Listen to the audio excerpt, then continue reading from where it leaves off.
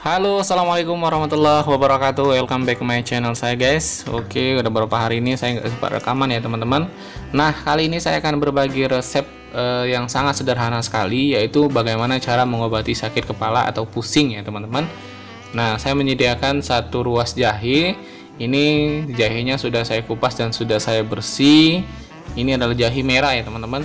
Nah, jahe ini dikenal sebagai salah satu bahan e, untuk masakan ya teman-teman Nah selain menyediakan jahe saya juga menyediakan bahan-bahan lainnya ya sebagai e, bahan pelengkapnya selain dari jahe saya juga menggunakan madu TJ teman-teman bisa menggunakan madu TJ ataupun madu yang sejenisnya ya Nah, berbicara tentang resep sakit kepala. Nah, sakit kepala ini banyak sekali faktornya, teman-teman. Di antaranya karena kurang tidur, e, badan kurang sehat, dan pemikiran yang terlalu berlebihan ya. Nah dampaknya adalah pekerjaan menumpuk, bisa jadi juga pikiran kita ke mana-mana ya nggak fokus untuk melakukan pekerjaan. Nah teman-teman nggak usah khawatir, jangan buru-buru dulu terlebih dahulu minum obat uh, yang generik ya teman-teman, obat-obat yang kimiawi. Jadi kalian bisa menggunakan resep tradisional ini. Bagaimana cara mengobati sakit kepala? Nah, cukup kalian simple banget sekali, tinggal kalian potong kecil-kecil jahenya tadi, jahe yang sudah kalian kupas tadi tinggal kalian potong kecil-kecil menggunakan bantuan pisau dan irisan ya, teman-teman. Nah, setelah itu barulah nanti kita akan melanjut ke tahap berikutnya.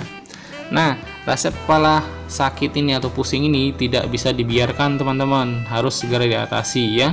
Karena kalau kita biarkan akan berdampak uh, efek yang buruk bagi kesehatan kita, terutama ke bagian saraf ya.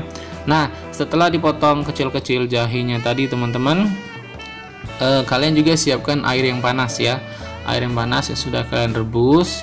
Nanti setelah itu kalian cukup seduh ya, seduh jahe ini dengan air yang panas tadi ya air panas ini di dalam kondisi benar-benar matang ya teman-teman nah benar-benar matang dan benar-benar panas Nah, setelah itu barulah kalian aduk.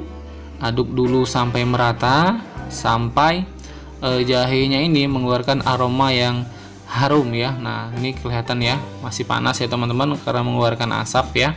Nah, setelah itu setelah kalian aduk, tunggu dingin beberapa menit e, sampai dengan 10 menit atau 15 menit sampai dia dingin hangat-hangat kuku barulah kalian tambahkan dengan madu ya.